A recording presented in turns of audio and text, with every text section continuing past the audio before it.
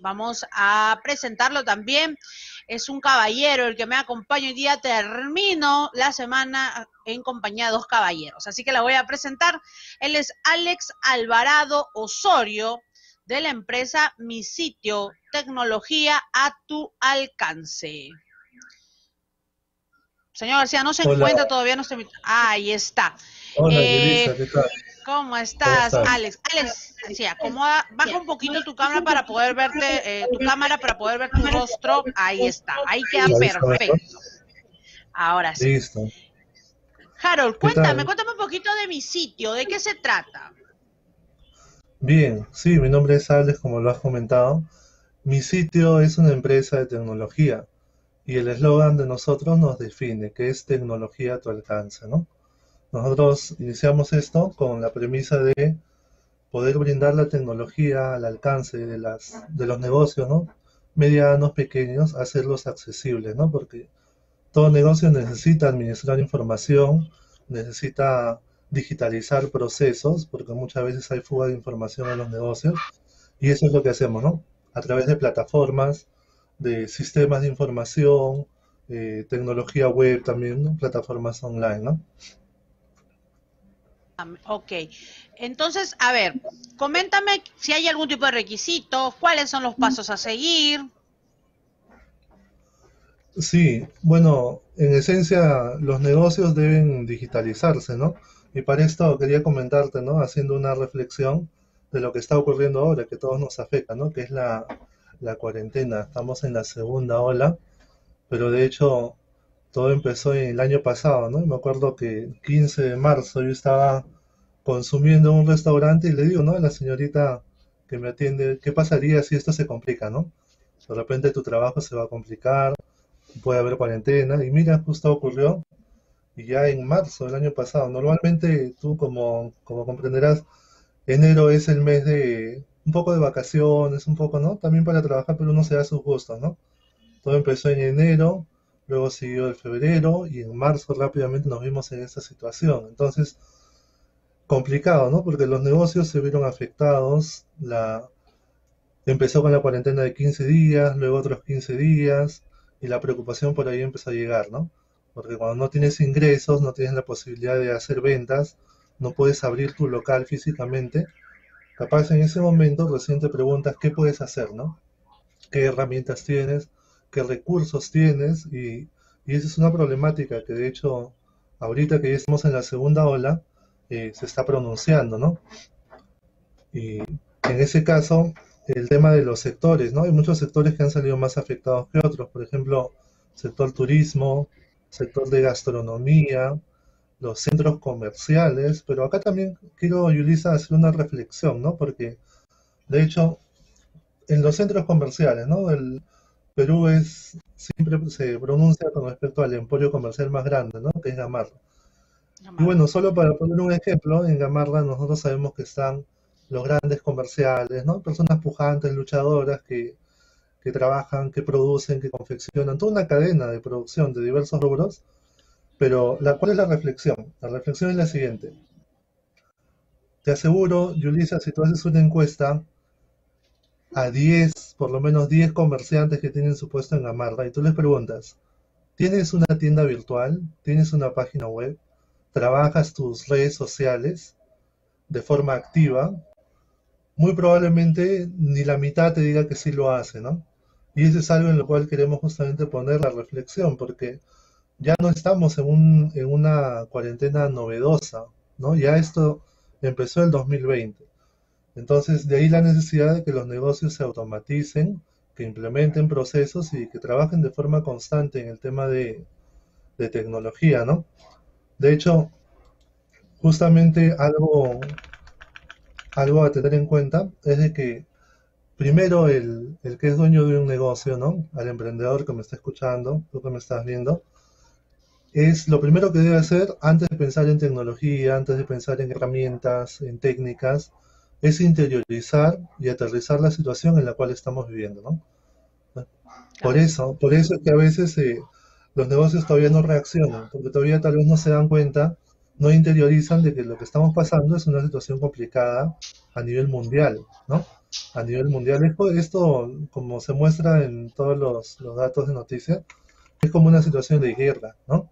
Y como tú sabes, cuando hay una guerra, eh, no tiene siempre las mismas comodidades, ¿no? Entonces la prioridad de una guerra no es tener comodidades, sino primero sobrevivir, ¿no?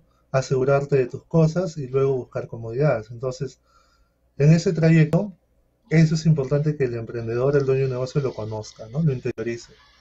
Y por eso justamente, Yulisa, es que existen muchos coaches, existen muchos asesores, porque los emprendedores a veces que tienen negocio están distraídos, están ocupados en sus cosas y pocas veces se ponen a reflexionar, a interiorizar todo, todo el problema que hay y qué solución le pueden dar, ¿no? Y por eso, desde nuestro caso, con el aspecto de la tecnología, eso es lo que venimos compartiendo, ¿no? Herramientas digitales, como dice en la pantalla, y bueno, muchos tienen el reto de emprender también, ¿no? no algunos no han emprendido, otros de, repente quieren hacer su negocio, quieren fortalecerlo porque han perdido su trabajo, otros capaz eh, han recibido el encargo del papá, una herencia, un dinero, y no saben qué hacer, ¿no? Entonces, y más en el contexto que estamos, se requieren medidas especiales, ¿no?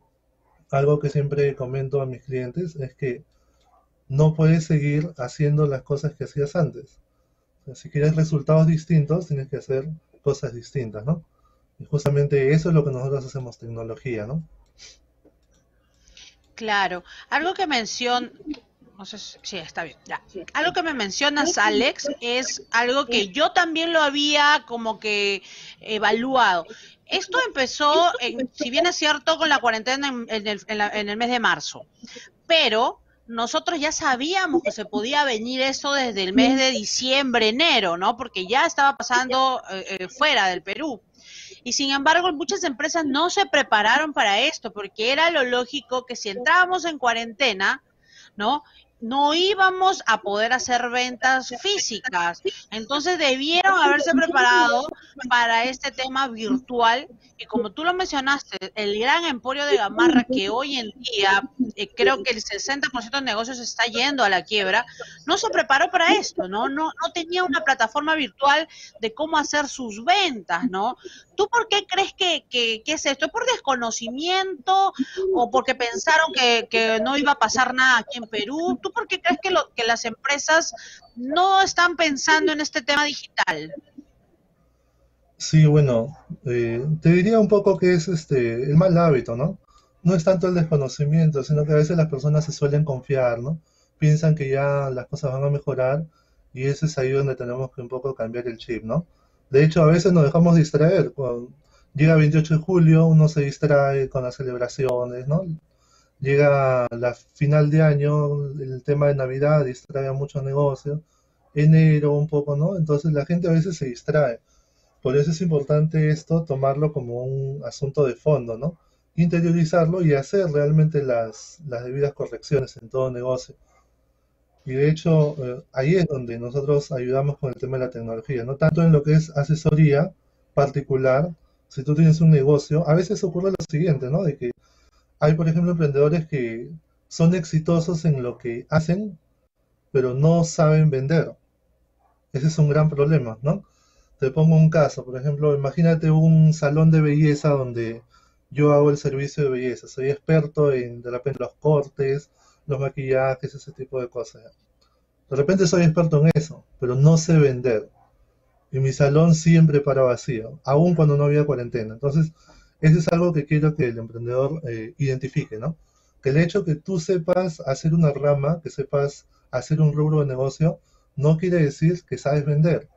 Entonces, el tema es, si, si no sabes vender o no tienes los conocimientos o la tecnología o la asesoría, para eso justamente puedes pedir ayuda, ¿no?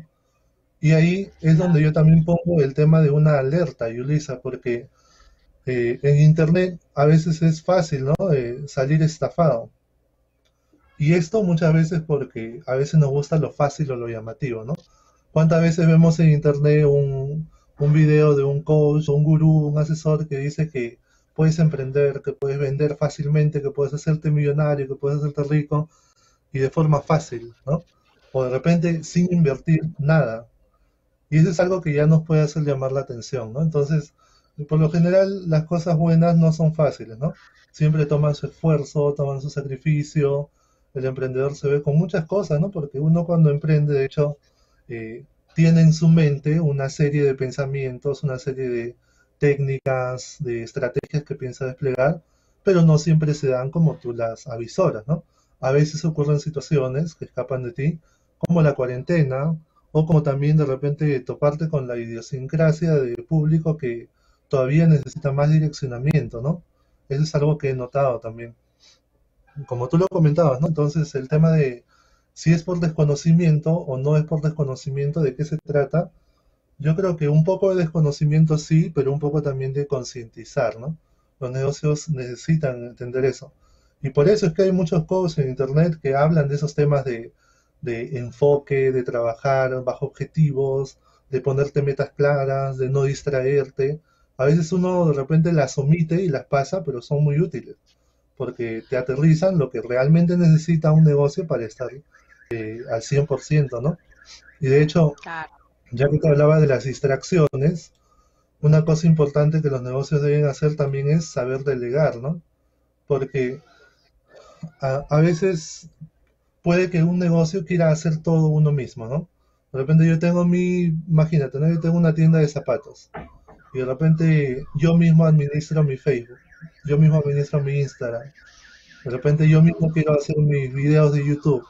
Ahora, me han dicho que necesito una página web, me busco el tutorial cómo hago yo mismo mi página gratis, me busco yo mismo cómo hago una tienda virtual, cómo hacer una pasarela de pagos.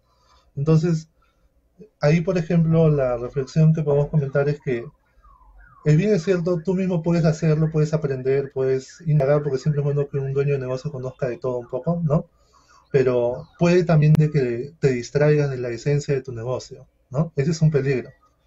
Por eso es que es bueno cuando tú contratas servicios de lo que fuera, ¿no? Sea de tecnología, de finanzas, asesor contable, legal. Es bueno que tú conozcas un poco, pero es bueno delegar a un tercero para que no te distraiga de tus, de tus acciones que son la esencia de tu negocio. Entonces, tú como emprendedor es bueno que estés siempre renovando, siempre pensando, y no solo ahora, ¿no? Por el tema de la cuarentena, sino siempre pensando cómo fortalecer tu negocio, cómo hacer promociones atractivas que vayan con la temporada del año y, ese tema, ¿no? Por eso hay, hay, mucha reflexión, mucho tema de cultura digital. Justo de eso también te quería hablar, Julissa, el tema de cultura digital. Claro, lo que mencionas es verdad, eh, este Alex. Eh, en realidad tú puedes ser muy bueno en, en, lo que realizas, pero a veces también tenemos esa mala costumbre de querer hacer todo uno mismo, ¿no? Y eso hace que nos estorbemos, nosotros mismos nos estorbamos, ¿no? Nosotros mismos nos estorbamos y terminamos al final, no vendemos, tampoco contamos bien lo que tenemos, nuestros ingresos, eh, y, tampoco manejamos bien nuestras redes sociales, ¿no? En fin, terminamos al final nosotros eh, desordenándonos un poco, ¿no? Alex, háblame justo de ese tema que me querías mencionar, de la cultura digital. ¿De qué se trata eso de la cultura digital? Si bien, bueno, tiene en esencia que ver con lo que es transformación digital. Mira, transformación digital es un término que se está usando mucho, ¿no? Bueno, ahorita de hecho el término que, que está dominando todos los medios es la cuarentena, ¿no? La cuarentena, el COVID, eso es lo que ahorita está latente, ¿no? Lo entendemos. Pero antes que exista el tema de, ¿no? De la cuarentena, del COVID, habían cosas que siempre en el mercado digital se han estado hablando fuerte. Una de ellas, por ejemplo, es acerca de marketing digital, ¿no? También se ha hablado de emprendimiento, ¿no? También se habla de transformación digital. Y justamente quería comentarte eso, ¿no? El tema de transformación digital en realidad es un movimiento, una filosofía de cambio permanente que tiene que haber en los negocios, ¿no? Entonces, ¿Cuál es el problema? A veces se piensa que un negocio para tener transformación digital necesita tener nuevo software, necesita tener de repente sistemas, necesita tener su página web, necesita tener su chatbot, necesita maquinarias, impresoras para ya no usar papeles escritos. Pero ¿sabes cuál es el problema? Porque es que me interesaba el tema de cultura digital. Porque a veces se piensa en la maquinaria, se piensa en los software, se piensa en los procesos, pero todavía no se aterriza a la persona, ¿no? Al usuario que está detrás de una pantalla, el usuario que está eh, haciendo los procesos, que está trabajando en el negocio, sea el dueño del negocio, sea el, el colaborador que está haciendo sus funciones, él es el primero que tiene que cambiar su forma de pensar, su cultura digital. Entender que los procesos que uno hace, que administrar la información, la información te da poder, ¿no? Y cuando hay fugas de información, el negocio es el que está perdiendo, perdiendo oportunidad de volver a contactar a los clientes, perdiendo oportunidad de vender, de hacer seguimientos y todos esos temas, ¿no? Entonces, antes de pensar en maquinaria, antes de pensar en software, antes de pensar en muchas cosas, es bueno primero el tema de cultura digital. Y ahí es donde nos damos cuenta que eh, lo que tú mencionabas al inicio, ¿no? Si es que es por desconocimiento o por relajo, vamos a decirlo de una forma, ¿no? Y bueno, yo noto muchas veces que es por relajo, ¿no? En, el caso de Perú. Y bueno, también algo que he notado, te cuento, es el tema que a veces los emprendedores no son de invertir. Y ahora quiero aclarar aquel tema de invertir. A veces, ni bien escuchamos la palabra invertir, lo primero que pensamos es en dinero, ¿no? Invertir dinero, invertir significa igual a dinero. Y no siempre es así. Por ejemplo, a veces los emprendedores son un poco, aunque pueda sonar brusco, un poco mezquinos en invertir su tiempo siquiera, ¿no? Te comento esto porque emprender es un camino constante de diversas operaciones. En el camino de emprender tú tienes que empezar, tienes que fortalecerte, consolidarte y ir para adelante moviéndote según lo que va pasando, ¿no? Y para eso necesitas estar informado, necesitas saber cómo va el mercado, qué cosas funcionan mejores que otras, qué herramientas están usando otros negocios que tal vez tú no. Tal vez otros negocios hacen transmisiones en vivo, hacen videos, publican en sus redes y tú no. Entonces ahí viene el tema de lo que te digo, de no ser mezquinos con el tiempo, ¿no? Porque incluso lo he notado, a veces me ha pasado, ¿no? Cuando yo también charlas, doy capacitaciones, con cuando uno les, les comenta, ¿no? El tema de la charla, a veces me escriben y me preguntan, Alex, pero ¿cuánto va a durar? Mira, ¿no? Sea, ¿cuánto va a durar? ¿Cuánto, cuánto tiempo me va a tomar? Y yo a veces lo que le respondo, bueno, la charla es gratis, la capacitación es gratis en esta ocasión, pero la inversión de tiempo para tu negocio va a ser de una hora y media, ¿no?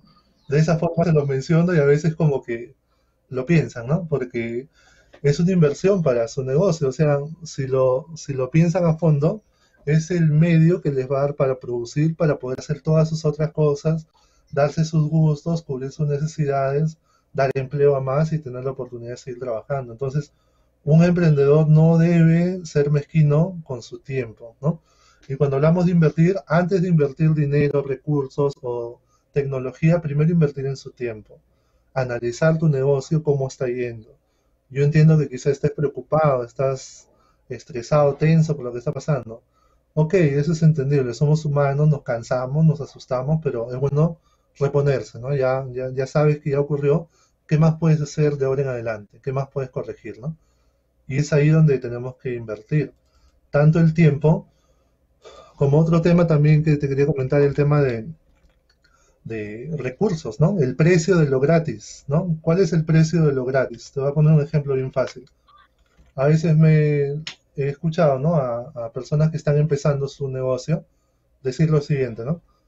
Estoy empezando mi negocio y estoy creciendo en mi fanpage, estoy creciendo en mi Instagram, estoy creciendo con seguidores.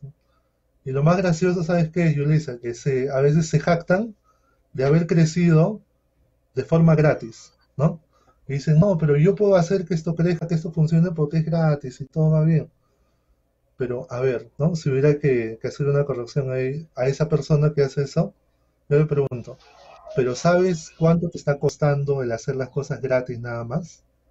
¿Sabías que si tú pagas por publicidad en Internet, puedes llegar a miles de personas que no te conocen, que son potenciales compradores?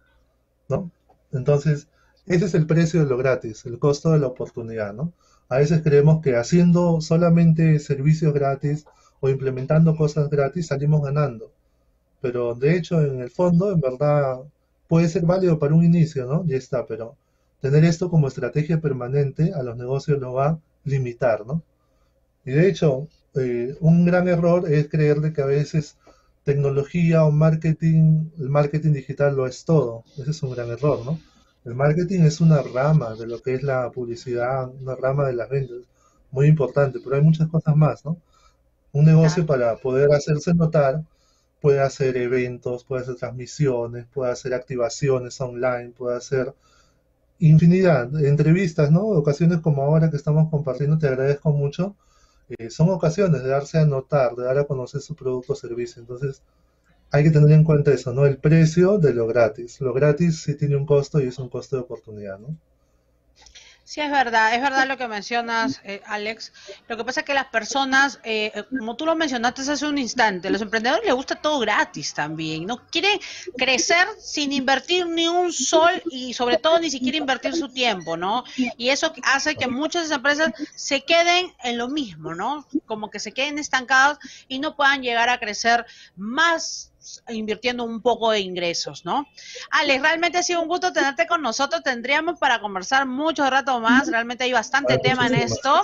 Incluso se me ha quedado una pregunta ahí de una emprendedora, pero vamos a dejarlo para una segunda parte de todas maneras, Alex, porque los emprendedores se han quedado acá con las preguntas. ¿ah? Alex, tus redes sociales, tus números, ¿cómo te ubico? Sí, bueno, no sé si lo podemos hacer en pantalla, igual lo comento, es en el caso de Facebook, es facebook.com slash mi sitio.pe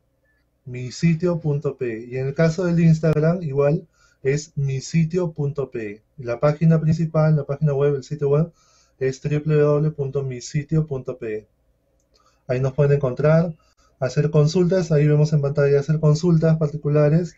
Estamos ahora promoviendo de forma especial el uso de las tiendas virtuales, Lisa, porque eh, este es un, tema grave, ¿no? Lo que está pasando a nivel mundial, a nivel país, y las citas virtuales son fundamentales. Ahí tenemos material para poder este, desplegar rápidamente su negocio. No es necesario que seas un experto, rápido, si tienes la, voluntad de hacer las cosas, lo vamos a hacer el menor tiempo posible, ¿no? Para que puedan ya operar, ¿no? Y salir adelante en medio de todo este problema. Muy bien, Alex, ha sido un gusto. Muchísimas gracias. Igualmente, Yulisa, gracias.